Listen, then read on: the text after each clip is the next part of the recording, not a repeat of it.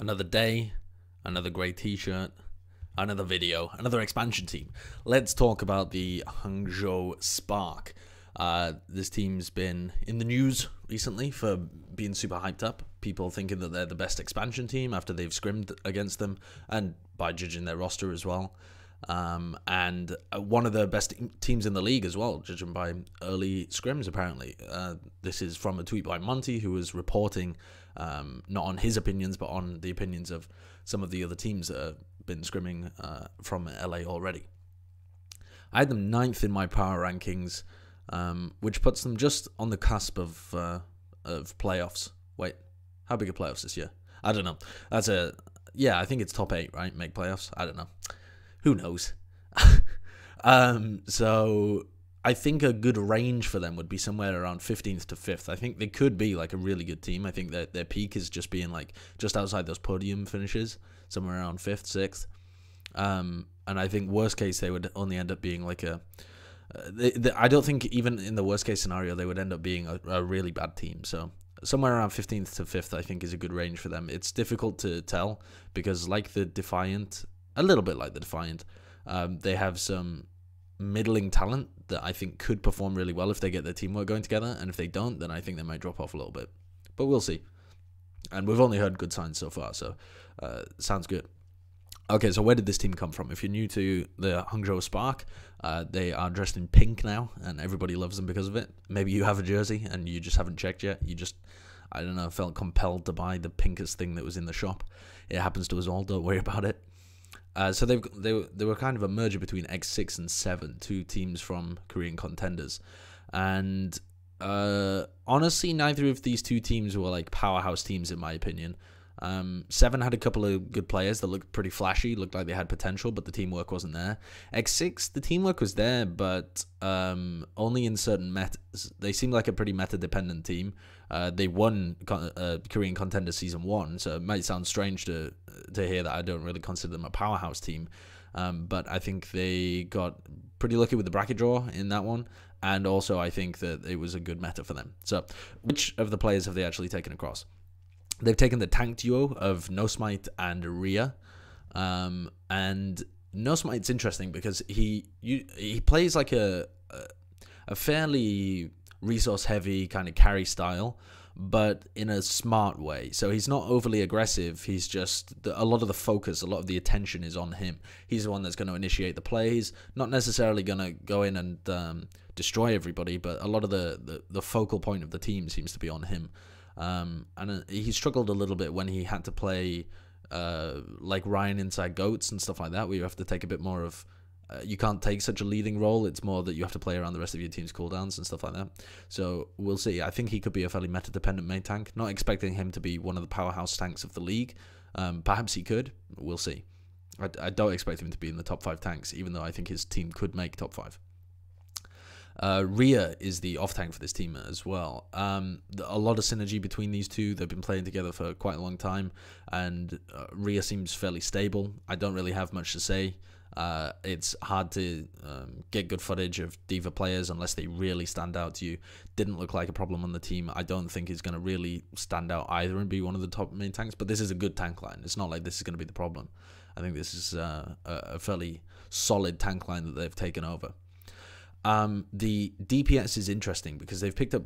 So the the core from X6 was that tank duo with GodsB, who is this hyper flexible DPS player that used to play for X6, or yeah, for a long time, um, and it has been seen on a, a ton of different heroes, and is a little bit this is going to sound weird, but he's a little bit like Surefour, kind of. He can play everything, but it seems like if you just give him a couple of heroes and allow him to grind them, he's going to be a lot better. Like if you just give him Widow and McCree, for example, or you just give him Genji, or you just give him maybe Tracer. I don't think his Tracer's that good, actually. So, you know, those kind of heroes, like a, a hit scan, a, a Widowmaker, or a Genji, something like that he's actually good. Like if that's all he's playing in the meta, if the meta's fairly stable, I think he's going to be like a good player on a, few core heroes. Um, but he's had to flex so much in his career that often he looks kind of mediocre, or he's like a good fill player. So I think this team would be excellent if he was paired alongside somebody who was really explosive. I think GodsB could be an excellent secondary DPS player. Um, but who is that? On this team, he's with Bazzi and Adora. Adora was the backup, like a sub for seven, um, and Bazzi was on seven as well. But Bazzi was well, Bazzi used to be a flex support, so you may have seen him at some point in the past playing for seven on Zenyatta. Was a very good Zenyatta. Isn't going to get playtime on that hero in this team, as far as I'm aware. Uh, he's going to be basically like a Widowmaker main. His Widow's really sick. Uh, he's uh, definitely one of the best Widowmakers that's entering the league for like brand new this season, alongside people like Happy from the Charge. Um, who else has got a sick Widowmaker that's coming into the league? I don't know. I can't think of anyone off the top of my head. Okay, well that was uh, a pointless little trip down memory lane for for me. okay, um, so maybe maybe the second best. Maybe I'm just forgetting a lot of people. Okay, um, but Bazzi doesn't really have the depth to his hero pool. He he's primarily a hit scan, but also within that, primarily a Widowmaker. So you don't. Oh, he also plays a little bit of Tracer, but you don't really see him on many heroes outside of Tracer or Widowmaker. Might be because of the meta, but we'll see.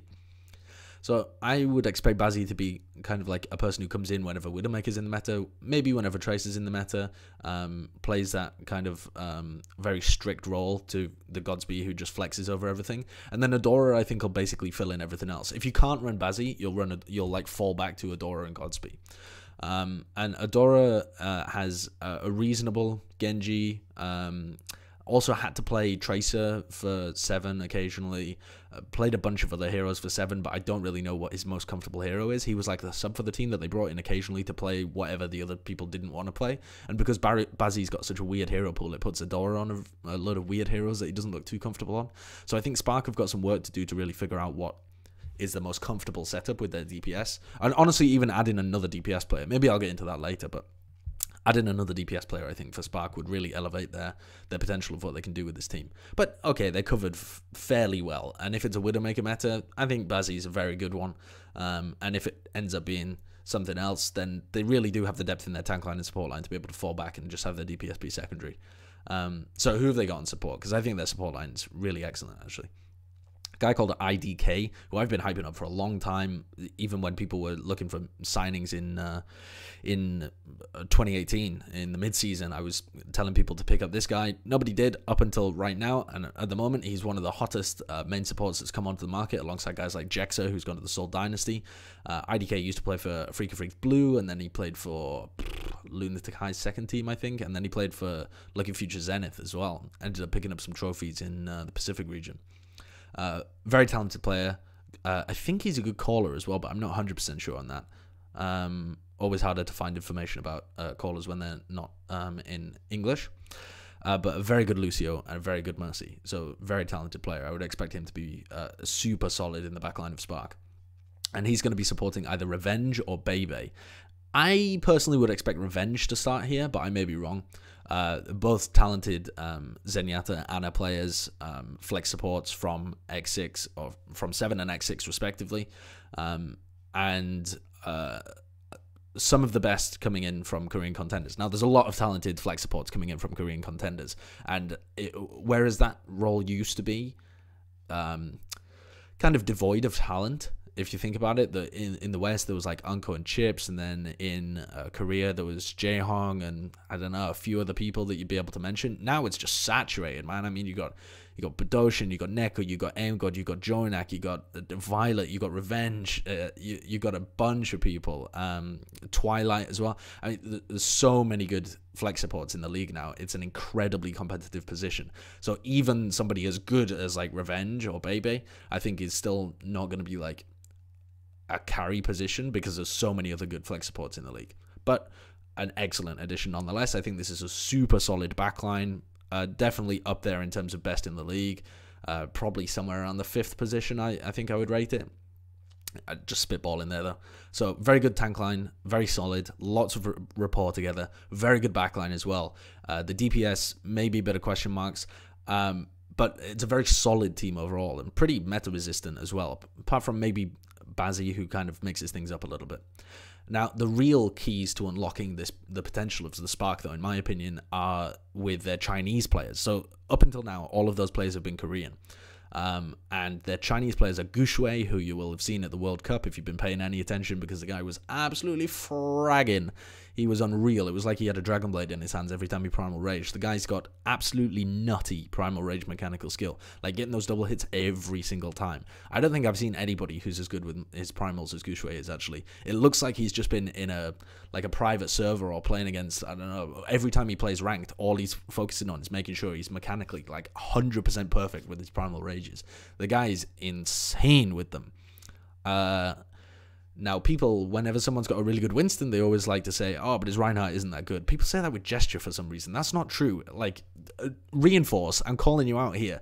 I think you've slipped into the meme of thinking because someone has a good Winston that Reinhardt must be shoddy. Gestures Reinhardt is not terrible. It's not, as you said in your power rankings, a meme, son. And neither is Guxue's, but it's not at the same kind of level. He's not like a, you know, like a Fissure, whereas Reinhardt's just insane as well but it's good, it's solid. He can certainly play it. That won't be a problem for him. And he, he just has so much more playmaking and superstar potential than Nosmite does that if they ever manage to integrate him in, bear in mind he has a language barrier there, he would have to stop speaking Chinese presumably and learn to speak. I, I don't mean stop as in give up Mandarin, but but when he's communicating with the team, you'd have to primarily do it in uh, in Korean and also Krystal, who you'll have seen at the World Cup as well. phenomenally talented, very flexible. Uh, not quite as good as Leave, in my opinion, but Leave's underage, uh, not eligible for play this uh, this year. Uh, but Krystal's very good. Flex DPS player, but also plays the Widowmaker to a high level. I mean, this guy's a nut. If you can get him in, you absolutely should. Krystal alongside GodsB would be mwah, just a really good duo. Uh, this team, if it was able to get over the language barrier and everyone integrated properly, the potential for this team is nutty. Um, but that's assuming they can get their players on the same page in terms of the language. Now, it's also been reported that Sashin or reported or leaked i'm not 100% sure it like came th- these like rumor leak thing comes from uh, they come from chinese or uh, or korean organizations sometimes where they uh, release it in english before it's been like announced in english and everyone's like what? Is this for real? I don't understand. So it was reported that anyway that uh, a guy called sashin would join the team. I think this is a good pickup. I think um, sashin's got a couple of heroes that he's really good at. Genji Pharah um, junkrat not 100% sure. Can't really remember. The last time I was watching Sashin was a while back. Um, but he does have a very promising Genji and Pharah. Um, and I think within the system of the Spark, I I don't think he's going to be like a, a, unbelievably nuts player straight out of the out of uh, out of the park. But the fact that you can integrate him in with all of these other talented, experienced people on the Hangzhou Spark, I think will really add something to this team in terms of the depth that they have on that DPS roster. Because as I was saying, Adora, not too big a fan of his. Um, I don't think that he's like going to be a star player for this team. They need someone to be a star player alongside GodsB, and they have Bazzi if you're playing like a Widowmaker meta. Maybe Tracer, but I don't think Bazzi's that good. But for all of the projectile stuff that you want to play alongside GodsB, Sashin would be your guy. So I think this is a really good pickup if indeed it turns out to be true. Until they can get Krystal integrated into the team, and at that point, I think Guxue and Krystal are the star players that really make Spark just come alive. I think the potential for this team is incredibly solid. Um, they've also moved over the coaches from X6 and 7. So, if you remember, those are the two teams that they blended from Korean contenders. And they've nicely kind of tread the balance, I think, between roster preservation. So you don't have to work on the fundamentals. I don't think this team should should have to start at you know the base level, working over communication and tendencies and when to go aggressive and how to communicate and coordinate uh, disengages and engages because a lot of these guys have played together before and the few that haven't uh, come from another team that's all played together. So the the roster merge in this sense has been uh, fairly well executed, I think. And because you have the head coach or one of the top coaches from X6 and from 7, they can work together to integrate the systems as well. So I think this is a, a good method. I think they'll have kept a lot of the fundamentals that will keep the coordination and teamwork there, um, but they've also created a kind of super roster between the two of them. So I, th- I think that's good.